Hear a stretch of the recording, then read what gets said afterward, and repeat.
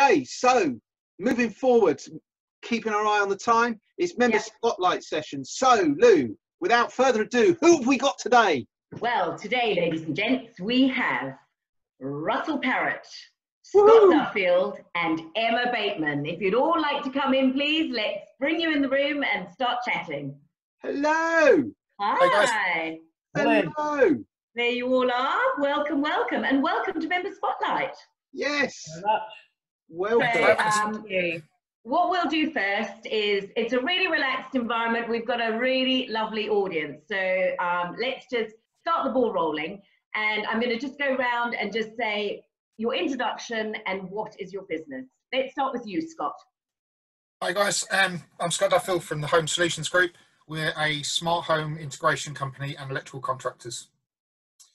Um, yeah, basically, we give you your time back through automating your daily processes. Brilliant. Thanks. Yeah, good. Emma. Morning, everybody. So I'm Emma Bateman. Um, I run Red Roof Services. I provide specialised cleaning and inventories. Uh, my cleaning services are slightly more than domestic cleaning. So I start with end of tenancies up to trauma and hazard, uh, biohazard cleans. Wow. Okay. Thank you, Emma. And lastly, Russell. Hi everybody, I'm Russell from Kubo Kitchens. Um, Kubo's sort of a design-led business uh, with a fresh approach to the whole kitchen buying process and designing process. I'm an independent, so I work with four different kitchen companies, two German, two English. Um, typically, I work with busy people who like to invest in their home, so uh, I like to take customers on a journey through the whole process. Brilliant. Right, thank you. Well, now you've introduced yourself, we know what you do. Let's get into the nitty gritty. We're going into we're, we're going into your past. So let's dig up what you've got in your past. I gave you some questions, but we're not going to use those questions. I'm kidding. no. I'm just kidding. so um, yeah, just digging it a little bit into your past and just finding out, uh, you know, sort of why you chose this industry or sector or the niche that you're in. What what brought you to your industry? So um, should we start with you, Emma? Let's see. What brought you to your industry um, in cleaning? Okay, so in the past, I think many do know, but my my past previous career um, is has basically been in care provision, in many different areas, from the old to the young, or vice versa. Um, I trained originally um, on the NNEB. I don't think that even exists anymore now. Feeling a bit old here with that.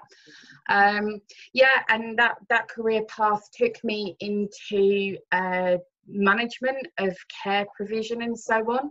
Uh, anybody that knows Treloar's in Alton, school and college for disabled people and young adults. I was a deputy residential manager there uh, for 12 successful years. And within that, that was when I decided that actually I need to do something kind of a little bit more for me. Um, I could tell you so many facts about my staff teams, about the people that were in my care, but I got a little bit lost within it all. But I thought, well, what am I going to do? And for me, it was all about transferable skills.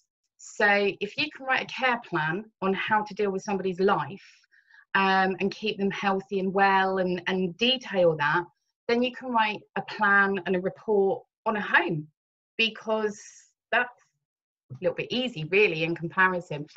So I decided that I would take that and I started initially, I started inventory services. And I started going into these properties and realizing that if you know, I was a bit of the, I don't know, to quote Kim and Aggie, I had to critique on these things. Ooh, is, is is that clean? And then I got thinking, wow. And I'd always had this little thing about yeah the the how do you clean the extreme um and i'm not i'm not one of those funny tv watchers you know with to quote those programs but it, it was always in my mind. So i went out and researched where i could train how i could potentially do that and added it to my services.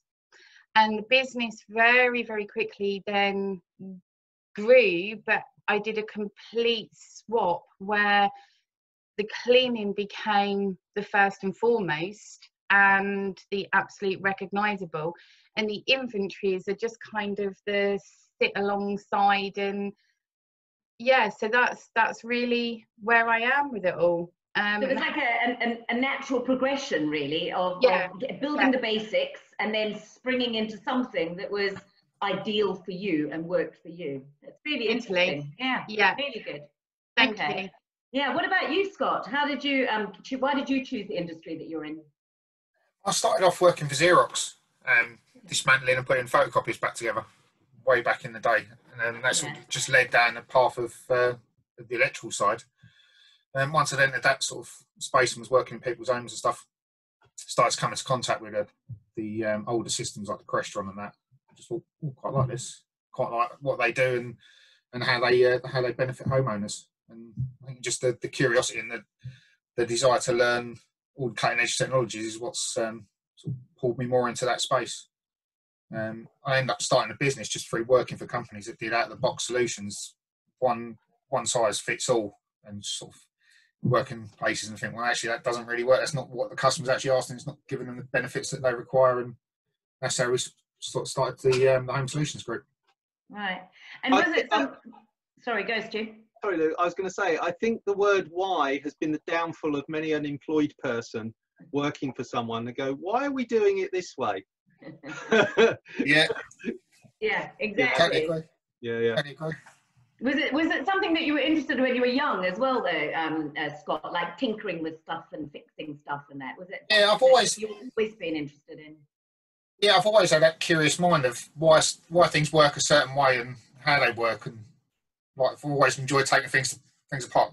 Not always been successful in putting them back together again, but it's it's always been something I've enjoyed doing. So, um, and that's fundamentally I ended up at Xerox as an engineer. Was, um, yeah. just tinkering with photocopiers and stuff. And yeah, that, it's really it's really inter- to me it's really interesting when people um, you know choose um, a, you know a life choice about something that they're really interested in. It, it makes more of a success as opposed to be in a job that you're not really bothered or you're not really interested in. If you're interested in doing that, it gets you there. That's when you become successful, I believe.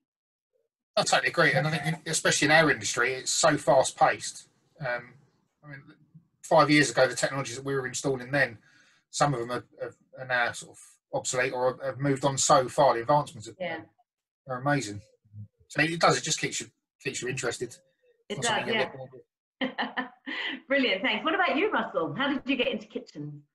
Well, going on really from what you were just saying, Lou, I sort of come out of college and stumbled upon a job and uh, went off and did two or three different types of job, really in the design um, RT, or AutoCAD industry and project management. And, and I got to about five years and thought, did I set out, did I plan to do this? How did I, how did I get here? And um, is this what I want to do for the rest of my life? So I sort of had a bit of a, a rethink before it was too late and uh, decided to uh, have a sort of a career change and retrain. Um, my father-in-law said to me, "Be an electrician, you earn loads of money."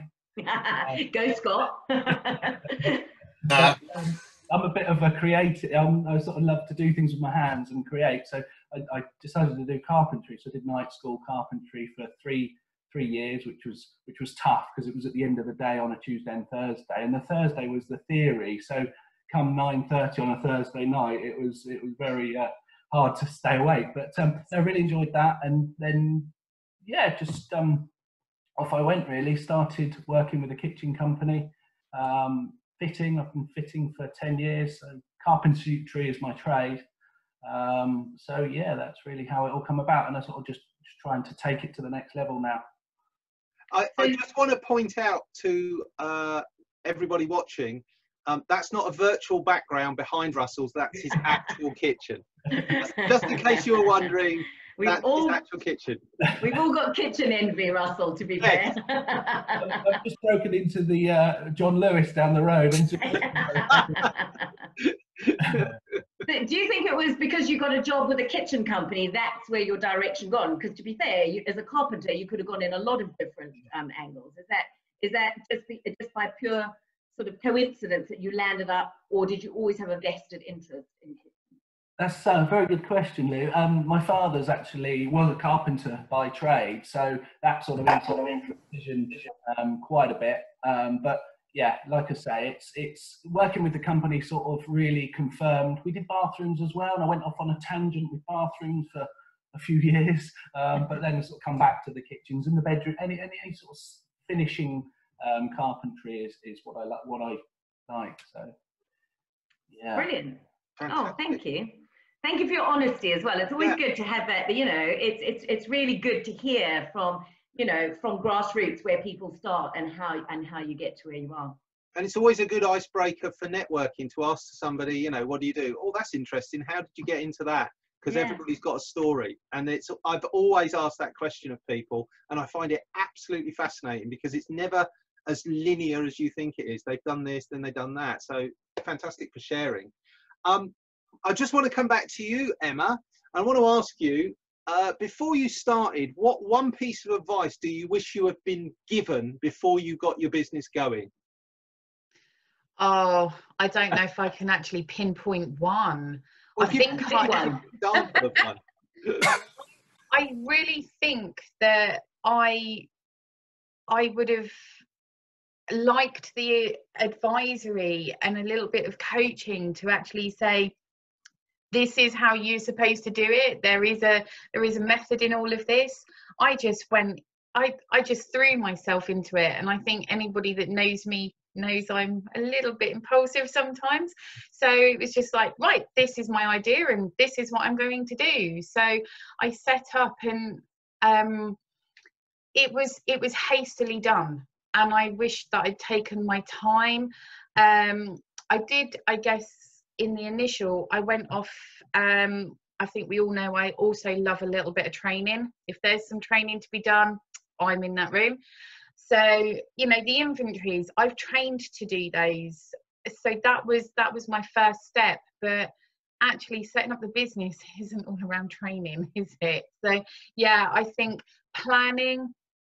I should have had a lot more planning um, at that stage as well.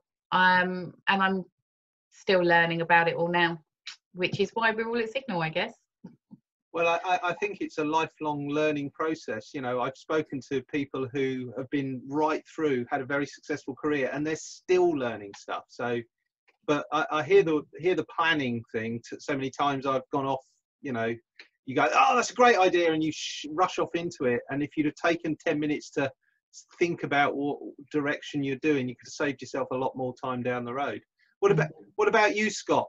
Any any words of wisdom that you wish you'd known about before you started? Yeah, I think very similar to Emma. Um, I think if, if you was asking me what I tell somebody setting up a, a, business now is surround yourself with successful and ambitious people. Um, join a mastermind group and learn from other people's experiences and save yourself um, some of the heartache I know I've been through in the in the, the time I've been a business owner. Um, and that, that that knowledge is, is invaluable. Um, and from that, you learn so much, so much more. And I think it's also it's important to be around people that have got the right mental attitude as well. That they want to drive themselves forward, and they, they tend to drag people along along with them, rather than surrounding yourself with naysayers and oh, you don't want to do that. You want to stay employed, you get a job for life. Uh, those things are long gone. So I think having people around you that are successful and are ambitious and, and positive is is a is a no brainer. Yes. I think we, we cover that in, in Jumpstart January, don't we? Who you mix with matters. And I think it re- I think you've got a really valid point there. If you surround yourself with, with you know like-minded people, you kind of go on a journey together. So yeah, really key point, Scott. I love it when somebody asks me to uh, they challenge my preconceptions. So I say something and they're like, oh, that's interesting. Why do you say that? Because it makes you stop and think and go, yeah, why do I think that? and that can be that can be really really useful. What about yourself, Russell? What what would you have wanted to have known before you started? It's not good going last because all the good answers get taken up. Um, we, mix it up. What, we will mix it up. I'm going to echo what the uh, other guy said, really, and listen to people that have been there. Um, because you you go into business thinking that you're invincible and you're just going to come out with a successful business, and yeah, it, it, it, doesn't quite work like that. Like Scott said, if you um, someone like Signal, absolutely amazing. You just surround yourself with sound advice all the time. It's it's great. Um, don't employ staff willy nilly. Um, I, when the bathroom side of my business took off, I, I think I employed six staff and I bought four vans and I shot up like a rocket and then straight back down again, sort of thing. There was no plan to it. I was just trying to go with the flow and oh, we're getting busier, right? Let's let's, and it just all unravelled. Um, so yeah, have a have a plan, have a growth plan, and really really stick to it. Um, and if your competition are doing it, don't do it. Is is some some advice that I wish I'd have taken heed many years ago. So. Wow, that, that yeah, that's some great advice right there. Excellent. Um, let's just talk about your in industry specifically now. I'm going to ask you each a question about your, your specific industry. So, uh, Russell, I'll start with you because obviously you've asked for that, so we'll give you what you want. what um, piece of advice would you um, give somebody starting out in your industry? If there's anybody out there that wants to start, you know, started a kitchen company, what piece of advice would you give them?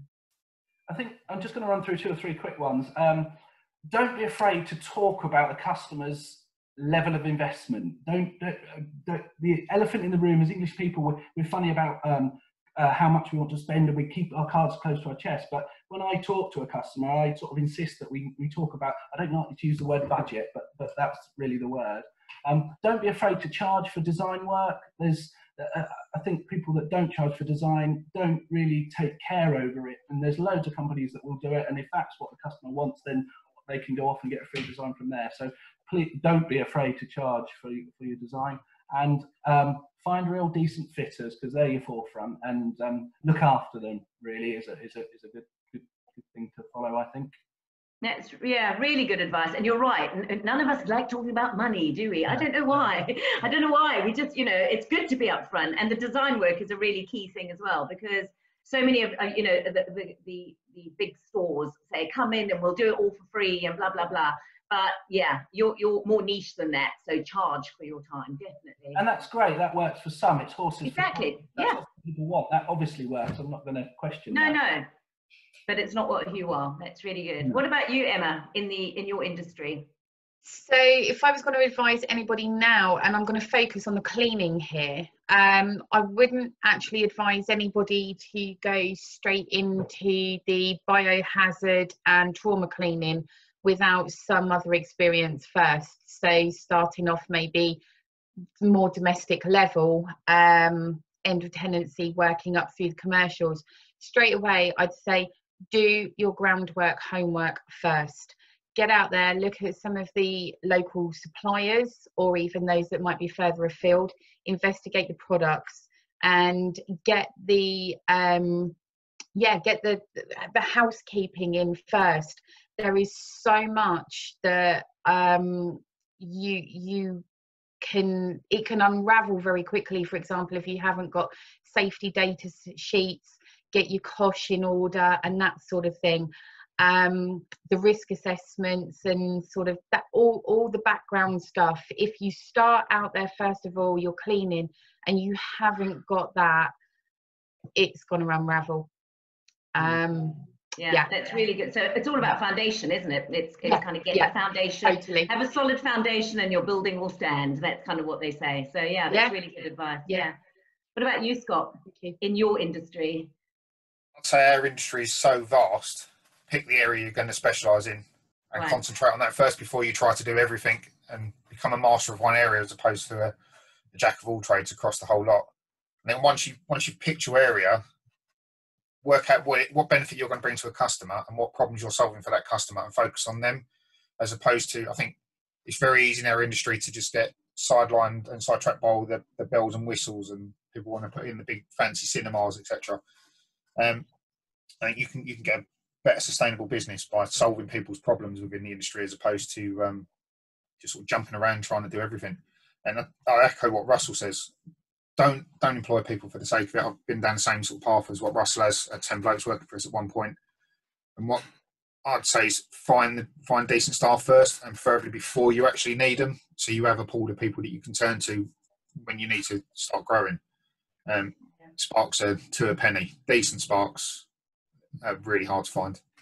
Yeah, I agree with that. But just going back to picking a, a specialist area, do you not need to do all the areas first so you know what your spe- how do you work out what your specialist area is going to be is there an element of trying a few things and seeing what works for you or you're more interested in how, how does that how did that work for you yeah i suppose i mean a lot of that you'll pick up through your apprenticeships if you if you're doing an apprenticeship with a decent company um, more often than not you'll you'll get a, a varied um, degree of education across that um, but really that part of that, I suppose, does depend on where you, where you choose to do your apprenticeship with. If you do your, your apprenticeship with someone like National Rail or, or British Gas, you're going to learn more of their systems than, than anything else. But it is such a varied, varied industry um, yeah. from you know small domestic and stuff like we do, the smart homes, up to the, the big industrial sites. You know, we've we've over our uh, lifetime we've done it done it all. But yeah, I'd say the hardest to do homework first and find an area that you you're more comfortable with, what what excites you and, and what keeps you interested.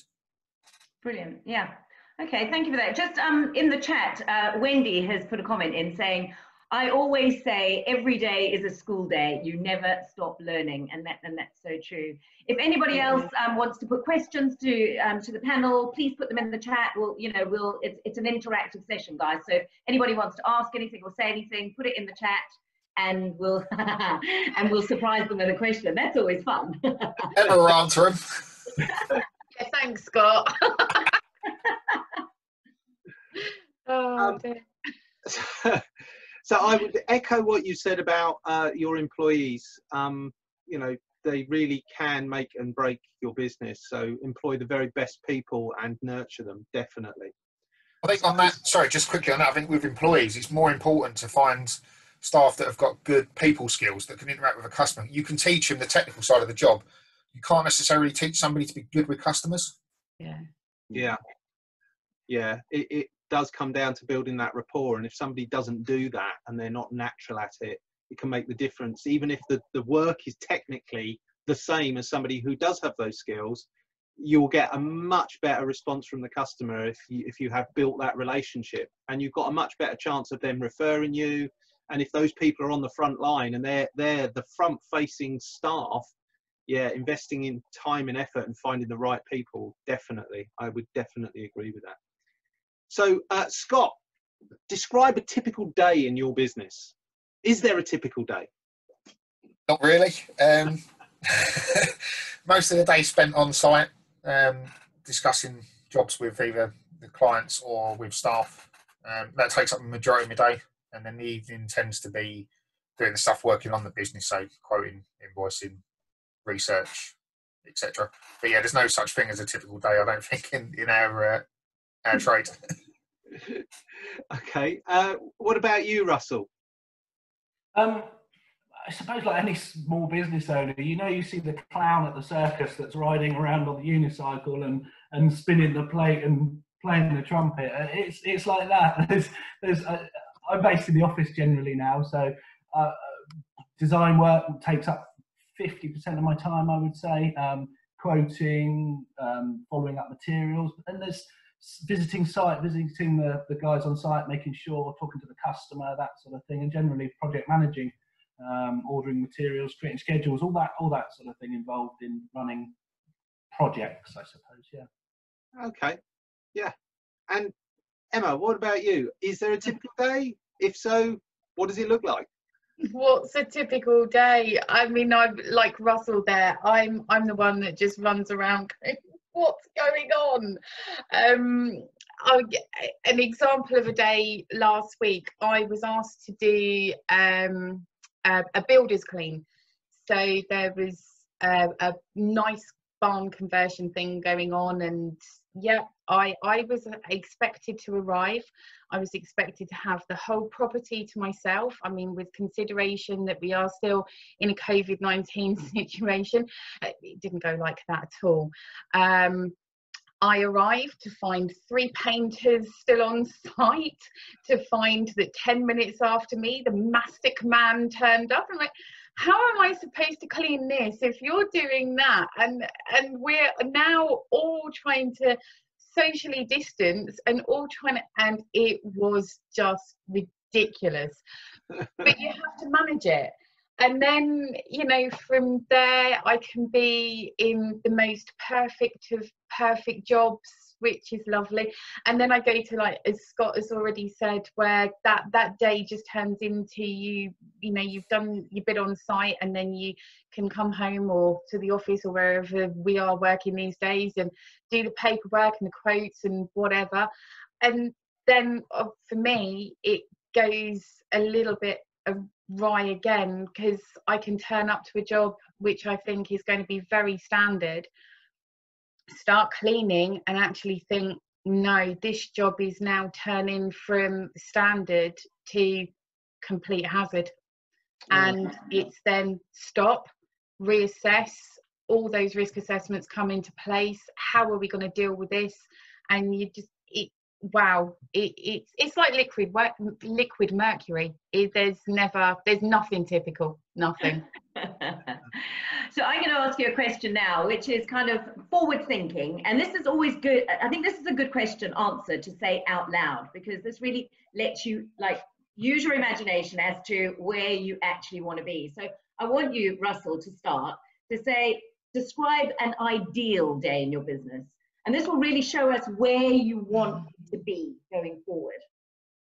Um, good question. um, I suppose really I quite like the designing, like the survey design um, and the, the creating the visuals and, and that sort of selling side of the business. So in answer to the question, that would be where I'd like to be. And perhaps as soon as that orders on, orders in um, on the deposits paid, I'd like to pass it down to a team member that could then, a trusted team member that could almost manage the job. And I would oversee and sort of visit the client maybe at the end or halfway through.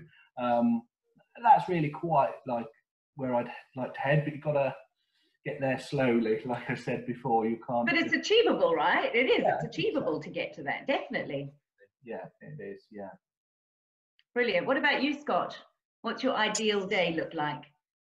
A boat moored off the Greek island somewhere.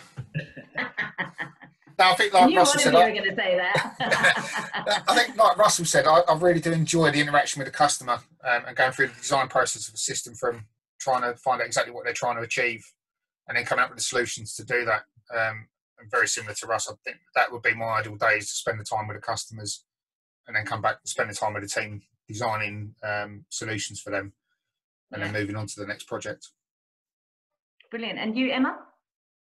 I think my ideal day would be literally get up, go and do whatever the clean or whatever it is that I've got to do, work with my team. And I say team, I do have some casual staff now, as and when needed. Um, work with them, work alone, depending on what the job may be. But yeah, get the cleans done. That's where I get my kicks. I love, I love that that end clean. Um, and then yeah, to actually be able to come home, shut my door, and not have to worry about the rest of it, um, and not be as again going back to Russell's um, clown on the unicycle with all the things that I, I yeah that would be my ideal is not to be that person anymore. Yeah. Brilliant. I mean that's a resounding sort of similarity that you all have. It's, it's, it's pretty much take yourself off the tools elevate yourself up um, the key there, though, I think it has to be said, is again your team. You have to have a yes. good team that has the same ethos as you, yeah. has the same presentability as you, because that's when it begins to fall down. So I think it's really key yeah. to build a good team. So yeah, no. in the pudding, really, definitely. Sorry, Lou. If I can, I would actually though like to be the other way. I would like to be on the tools and forget everything else. Oh, I, okay yeah yeah i'd i'd rather have somebody actually doing this office stuff. I can't stand it. I, I really can't. It's the bit that i say i'm i'm better off out there and that's where my skill set is. Um and that's that's really what i do. So okay. yeah yeah. So i'm i'm slightly slightly, slightly the other way. Yeah. Okay. Well, yeah, and it's achieve. I mean, everything that you say is achievable, right? Um, it yeah. definitely is. It's it's growth in different in, in different ways. I mean, you know, you could, you know, Emma, have a company that dealt with all of the admin and all of that for you. You know, that that's that's not um, a difficult thing to hand over to somebody, is it? I mean, no. a, a soft introduction to that would be possibly to get a VA Exactly. to look after things, answer the phone, and know Yeah. get to feel the rhythm of what your business is, so that if you do have to employ someone, that VA could then perhaps brief you on what skills to look for in the employee. Yeah, So yeah. Just a thought, just just Yeah. chucking the ideas out there. Um, moving forward, looking into the future. So we've we've looked back, we've had a chat about what's going on now. Looking into the future, Scott, what are some of your life goals?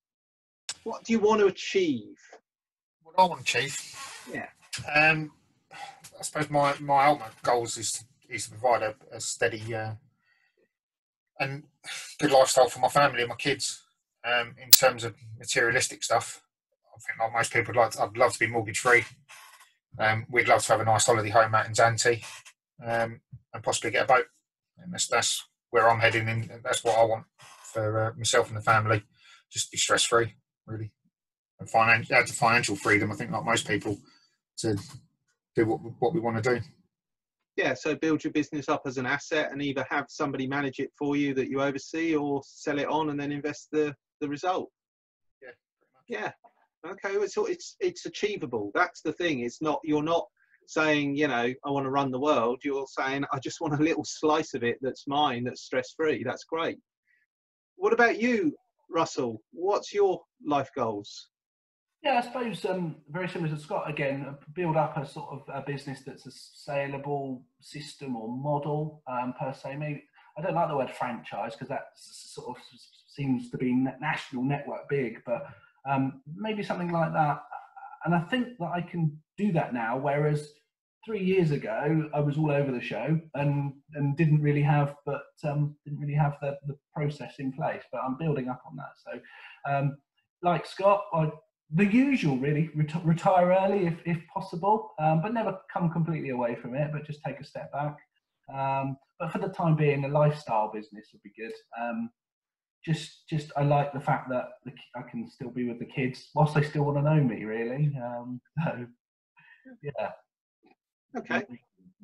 And uh, Em, what about you? What what's your uh, what are your life goals?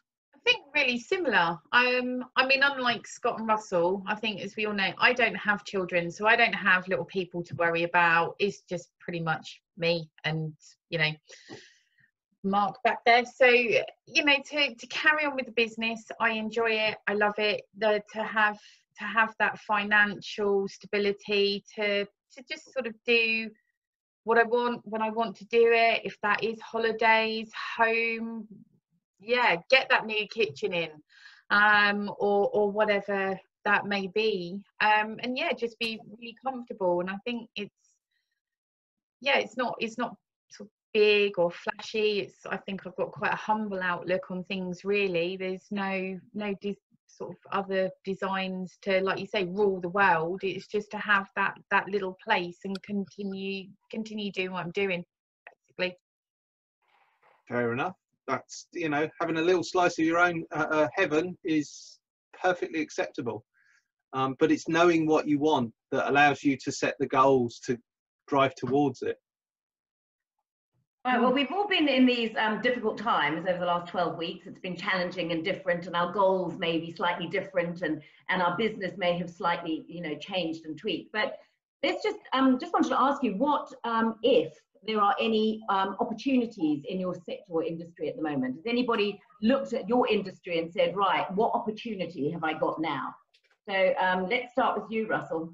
Is there any uh, opportunities that you, you can see in your industry at the moment? I think so, yeah, definitely. Um, people have had a lot of time at home, so they, they've been looking at that space that they're thinking we must really get that sorted out. Um, so, so kitchens and, and bedrooms perhaps organise themselves um, in that respect. But also looking at the other side of things, if you've spent so much time at home, you might be getting a divorce. So that's two kitchens. That's a kitchen in one flat and a kitchen in another. Um, so, um, yeah, um, just that sort of thing, really. People, home offices, uh, people are going to be working from home more. We do the odd home office, so that's something that I can offer, make that space comfortable for you rather than on the dining room table with the kids running around and the, all that sort of thing going on. So, yeah. I mean, it's really important, isn't it, to look look for opportunities out of, you know, that's what we do, right? I mean, mm. I, I agree. We've used our kitchen so much more in the last 12 weeks because you're just, you know, in your house all the time cooking. So, yeah, um, I agree. I think we've been here a long time in our houses and we've seen a lot of flaws in our houses that we don't normally see because you're just kind of like, yeah, you're too busy. So, yeah. yeah, definitely an opportunity. What about you, Scott? Are there any opportunities in your in your industry at the moment? Yeah, I think there is. Uh, uh, to echo it sounds like we're doing this most of the, most of the morning, but um, I think with a lot more people working from home, I think a lot of people have realised that actually it's quite sustainable for them to work from home. So we're seeing the opportunities to um, upgrade people's like internet um, infrastructure, Wi-Fi, um, increase their their electrical system so they can uh, they can actually have a, a, small space for themselves within the house, or they've got their external offices being built by companies like Brussels, and um, there's always the opportunity there to to wire in, etc. So I think that's definitely become more prevalent over the next few months. What about um, in, in the in the care industry? Because um, you're involved in that as well. Is there a big upsurge in that that people don't want to go, possibly don't want to go into care homes anymore, and think the solutions at home might be better? Because I know that you're involved in that as well, aren't you? Yeah, I think there will be definitely. Um, with the Loxone wireless system, we can um, we can give people assisted living control, so you can you can keep an eye, an eye effectively on, on elderly loved ones without having to sort of intrude on their, their privacy. I think that's that's definitely going to be um, be on the uptake um, moving forward. Yeah, I would think so because of the problems that we have had in, in the care homes. I mean, you know, we've had a, a, lot of deaths in care homes. So people might be a little bit more reluctant or stay at home longer, possibly with the help of the solutions that you can do. I would I would see that as a big opportunity for you. Yeah, I think it's not just the care homes. I think just generally people who've got parents who live quite quite a way away. Um, whereas before it would have been nice to have been able to make sure they were okay with the systems that we can provide through their, their um, daily routine interruptions, etc. I think more people are, are going to start to look at that and think, well, especially as we have the uncertainty of how long um, social distancing, etc., is going to stay in place. Yeah. Especially with people self-shielding as well. You know, the elderly are they're, they're more vulnerable and they are tending to want to lock themselves away. So by being able to have a remote system that doesn't sort of have a direct impact on their daily life, but will allow allow you to, to make sure that they're okay and that they're yeah. they're up and they're moving about is it's definitely definitely going to be opportunities there for us. I see a big advertising campaign coming our way. what about you, Emma? Yeah. This the cleaning industry has been one that through COVID nineteen, it's it it really is quite divided now. Uh, back right at the start of COVID, um, I I did some significant COVID cleaning. We, um, you know, the whole full white suit thing similar to what's behind me and the respirators and you know that was really really serious cleaning. Um unfortunately within all of that um there was a boom in cleaning businesses that just it, it, people erupted into cleaning all over the place. And unfortunately that is that has put a lot of cleaners on a on one foot a stable road and on the other foot a very very rocky road.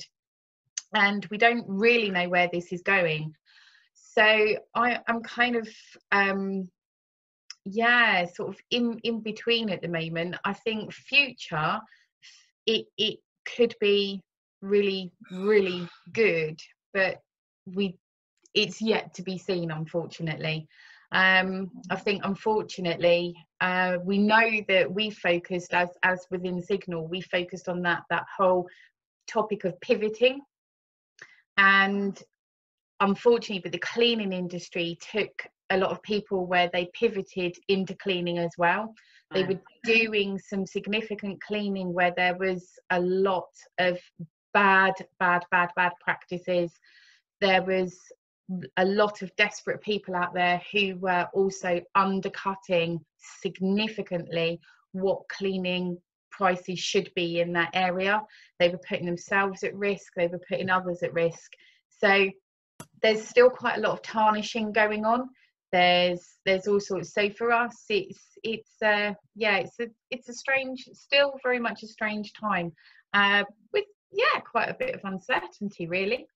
I think that actually builds in an opportunity because there's always going to be a backlash reaction to opportunists coming into a marketplace because mm. people will get dissatisfied with either poor performance or uh, substandard results. And that gives you an opportunity to keep your prices strong and say, well, you get what you pay for. Yeah, yeah, literally. Um, and I think it's it, this is a little bit maybe of a, a sort of a long, longer game at the moment. Yep, you know, people absolutely. people have to realise that if yeah, I, I think there's a there's a phrase or a saying, you know, pay pay cheap, pay twice. Yeah. Certainly, certainly yes, because it you know the health and the safety and the backlash on the the effect of on somebody's health are you know you it's not worth gambling with really. Exactly. No. Well, we've only got a couple of minutes left, so I just want to do a quick fire round. Um, have you got anything planned? What's the most exciting thing you've got planned for your business coming up? Let's start with you, Scott. Have you got anything exciting planned? Exciting plans in terms of projects or where we're going with the business? Yeah, projects, anything. What's the most exciting thing you've got planned? Yeah, we've we've got quite an quite an exciting project coming up over in um, Hazelmere soon. Um, a nice six bed house, fully automated with cinema. Um, Oh. Quite looking forward to getting stuck into that. To be completely honest, Is that the same project that, that Gary was talking about earlier? nope. it's a completely No. different one. Yeah, Let's This is a new build coming straight out Grand. Wow. Brilliant. What about you, Russell? Have you got anything exciting planned in the business? Um, well, I, I offer kitchens to everyone. I've got, I've got kitchens from five grand up to 50 grand, and I really want to look at the five grand and the, the lower end of the market and maybe um, produce like a Shopify internet buying uh, platform. Not sure, but I'm quite excited about thinking about if it if it can work or not. We'll have a conversation about All right, Mister. He comes in like from above. We'll have a conversation. On it. On it. Oh. Collaboration. It's collaboration. Collaboration month. Brilliant. And Emma, have you got anything exciting planned in the near future for business? Um, I'm I'm just me personally. I'm looking into more training. Um, I want to further my trauma cleaning training, and yeah, ta- I want to. Yeah, there's a there's a lot to happen there, but I don't want to grace you all out.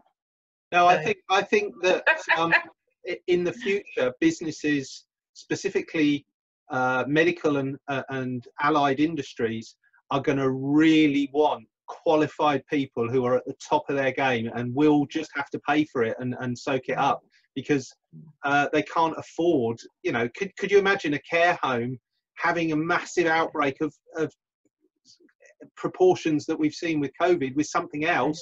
just decimates their business. So I, I, I think Yeah. you've got the right kind of attitude of it is a long game. This, this Yeah. isn't going away anytime soon, and it's just going to make people more um, willing to spend money on the right hygiene. You know, McDonald's are advertising we're open and we've increased cleaning. It's like, well, what were you doing beforehand? what were you getting away with? to be, to be fair to them, they've actually increased their cleaning products. So, I- they're, you know, but I know I'm being facetious. I, I, I know. Well, It's- Lou, what what an amazing uh, amazing answers, um, amazing stories that we've had from our, our members today. Uh, just thank you very much for sharing. Thank you. So, very Scott, did you you. want to add something? We, Yeah, just quickly, I think Emma's got a, an opportunity there to, to um, put herself at the forefront with education on on forwards, um, what's actually involved in doing the cleaning properly. And I think if you if you start to educate people and explain this is exactly what we need to do, people will make their own mind up. Well, how can companies be doing that so cheap then? And I think you Yeah. will be able to make your pricing more solid. Just by or giving start that a service. training, or start your own training company to train people how to do it properly. Well, that that was also an option, and yeah, still one that I'm kind of looking into. And thank you for that because, um, yeah, again, training last year, I did that education certificate. Exactly.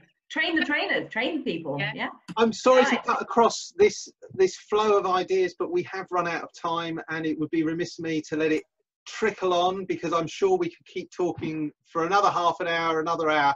We've got a session after this where we're going to be looking at sales and improving your sales. Thank you very much. I know you can't hear it, but ladies and gentlemen, give them a round of applause. Go on. Ah, it's been really lovely to talk to all of you, and thank you so much for your honesty. It, it really has been great. I've really enjoyed my morning. Thank you for that. Okay, so Thank that's the end of the spotlight session. Uh, we're going to have a quick 10 minute break as always.